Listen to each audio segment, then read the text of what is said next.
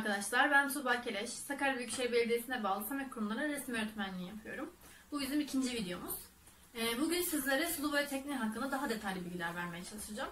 Sonrasında fırçaya nasıl hakim olurum, renk geçişlerini nasıl sağlarım, ee, geometrik formda objeler çalışmalar yapacağız, uygulamalar yapacağız.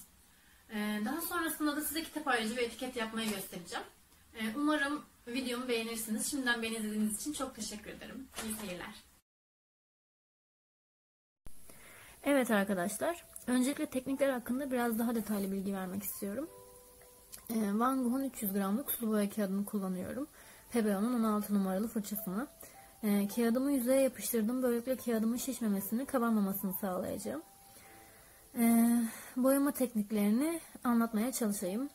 Bir wet on wet kağıt yüzeyimi ıslatacağım. Aynı şekilde fırçamı da sulu bir şekilde kullanacağım. Kağıdınız kabarabilir. Dikkatli olmanız gerekiyor bu teknikte.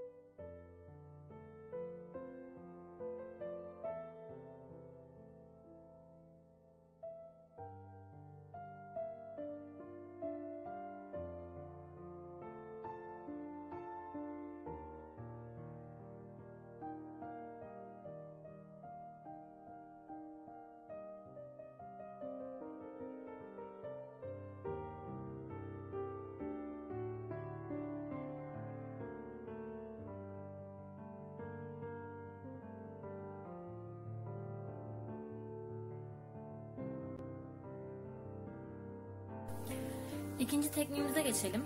Wet on dry yani kuru bir zemine fırçamızı sulu bir şekilde uyguluyorum. E, bu teknik yeni başlayanlar için daha rahat olacaktır. E, fırçaya hakimiyeti rahat bir şekilde sağlayabiliriz. E, boyanızı, boyanıza yön verirken daha rahat hareket edebilirsiniz. Tabi bazı sıkıntılar da oluyor bu tekniklerde. E, boyanın kağıtta keskin izleri kalabiliyor. O keskinliğin gitmesi için fırçamızı suya batırarak üzerinden hemen geçersek keskinlik geçer. Kağıt gramajı önemli tabii ki bu noktada. Suyu yoğun kullandığımız için dikkat etmemiz gerekiyor.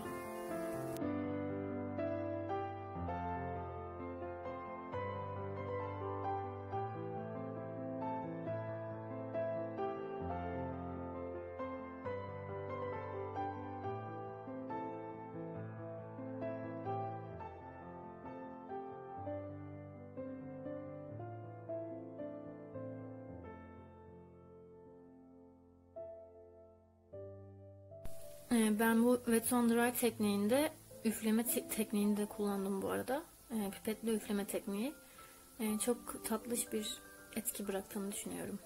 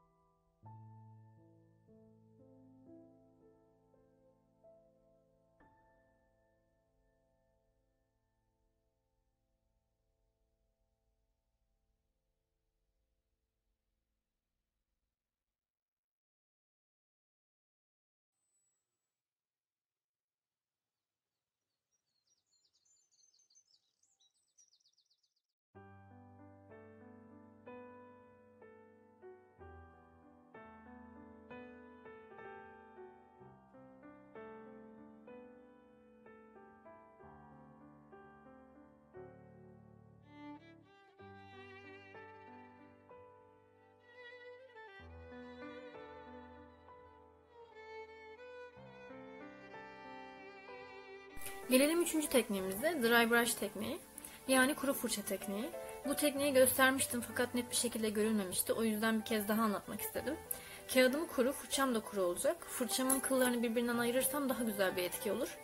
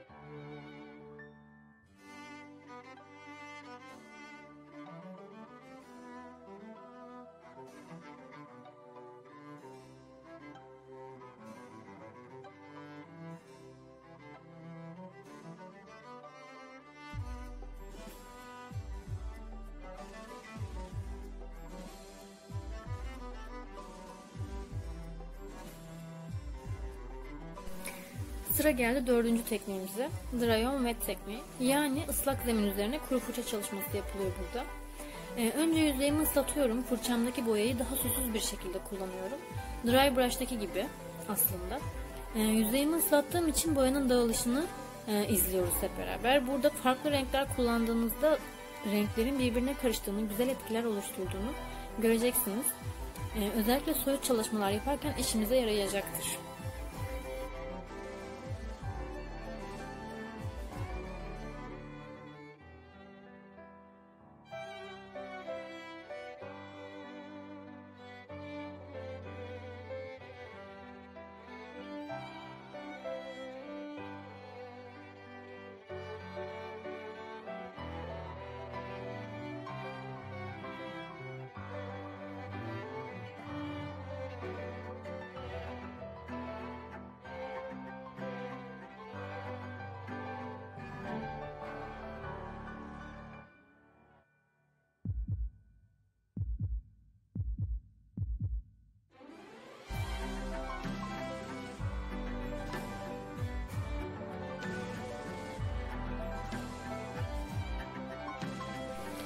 Sıradaki tekniğimiz yani 5. teknik olan flat brush tekniği.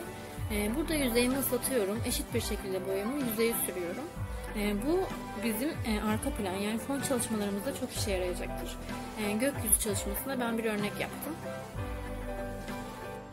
Siz daha farklı denemeler yapabilirsiniz tabii ki de.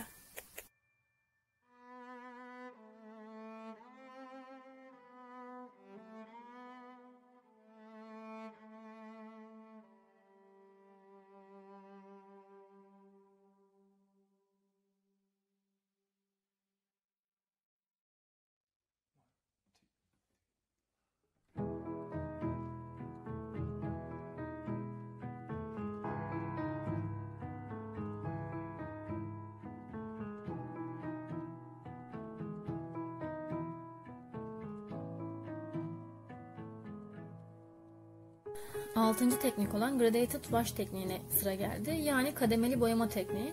Tek renkle veya birkaç renkle çalışıp renkler arası geçiş elde edebilirsiniz. Boyadaki renklerden kurtularak uyguluyorsunuz bu tekniği. E, koyduğun açığa gidecek şekilde olacak. Sıra geldi 7. madde olan e, suya tuz atma tekniği. Ben bu teknikte ilk önce kağıdımı normal boyayla boyadıktan sonra üzerine tuzlu su damlattım. Siz bunu tam tersinde yapabilirsiniz. Farklı farklı teknikler deneyebilirsiniz.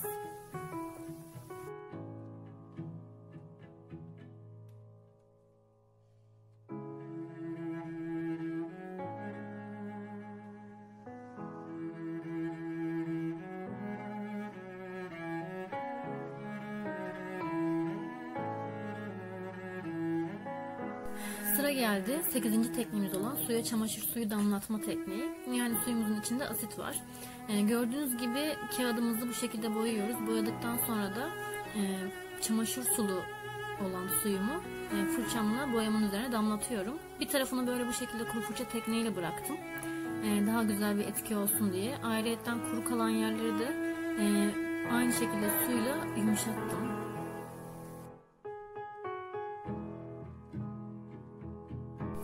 Benzer bir işlemi çamaşır suyuyla yapabilirsiniz. Çamaşır suyunu ufak bir tüple birkaç damla olacak sade suya karıştırın ve resim kağıdınıza sürün. Kağıda boya sürdüğünüzde boyanın tuzlu sudakine oranla daha yoğun olarak ve iğne iğne dağıldığını görebilirsiniz. Gerçekten harika etkileri var sulu boyanın. Ve bu çalışmayı çocukların yanında yapmayalım, dikkat edelim lütfen.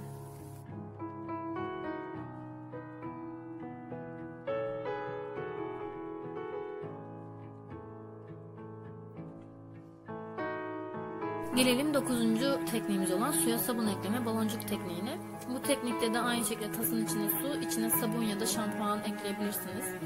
Ee, pipet yardımıyla suyun içine üfleyerek boyayı köpürtün. Daha sonra kağıdımızı e, köpüğün içine daldırıyoruz. Aslında bunu sadece böyle hızlı bir şekilde geçirmemiz gerekiyor ama benim tabağım düz olmadığı için e, içine daldırmak zorunda kaldım. Sonrasında tabağımın içini renklendirmektense o köpüklerin üzerine bu şekilde boyalar dökmeyi tercih ettim. Tabi siz farklı farklı şekilde teknikler uygulayabilirsiniz. Benim aklıma bu geldi. Çok da hoşuma gitti e, arkasındaki etkisi. E, bu şekilde bu çalışmayı çocuklarınızla, torunlarınızla yapabilirsiniz. Çok eğlenceli. Gördüğünüz sol taraftaki fotoğrafta da yine aynı şekilde baloncuk tekniği. Bu sefer kağıdımı tamamen ıslattım ve tabağımın içinden fırçayla köpükleri tek tek aldım. Renklendirmeleri de yine bu şekilde üzerine koyup koyup yaptım.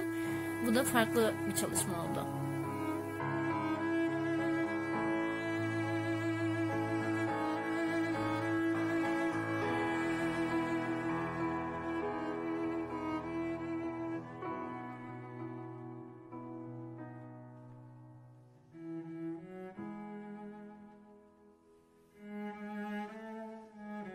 Onuncu tekniğimiz olan stretch film tekniği. Kağıdınızın yüzeyini rahatça örtecek kadar streç filmi iyice düzleştirin e, ve renkleri fırça yardımıyla filmin üstüne sürün.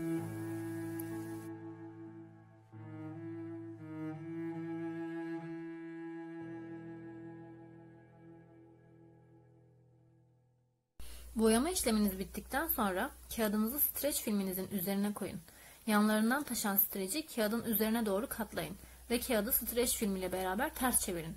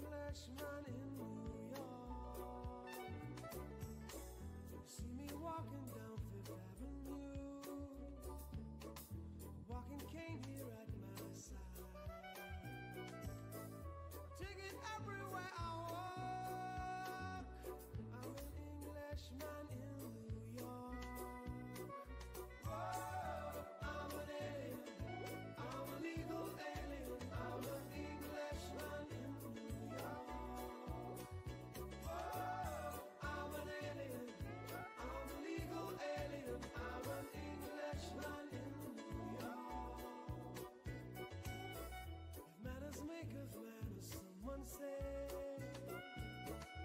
he's our hero of the day.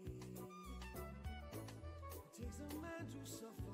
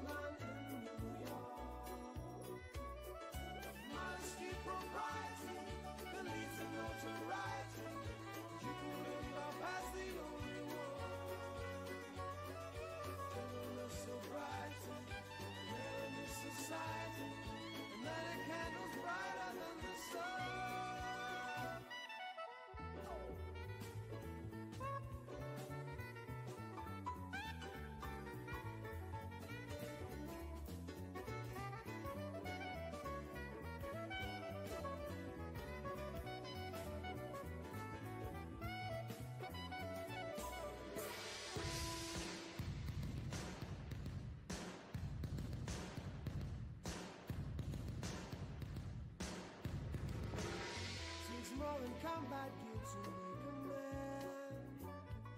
Takes more than a license for a gun.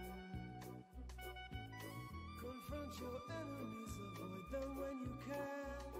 A gentleman will walk but never run. The manners make of manners, someone say. He's our hero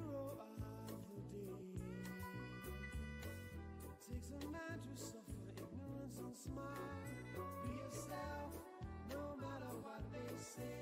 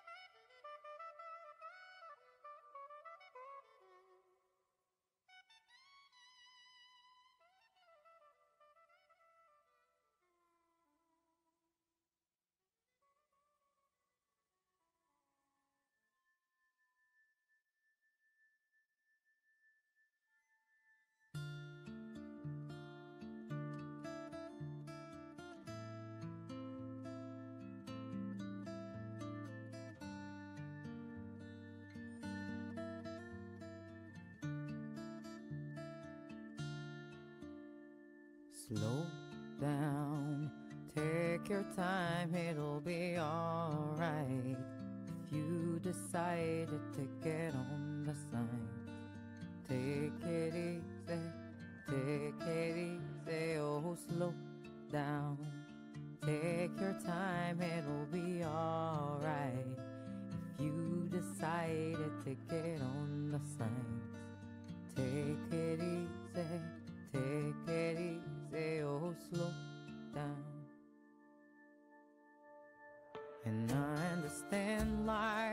isn't a friend, it's so hard sometimes. But guess what? You're not the only one. The door is shut, but so is your mind. And I understand life isn't a friend, it's so hard sometimes. But guess what? You're not the only one. Door is shut, but so is your mind. Slow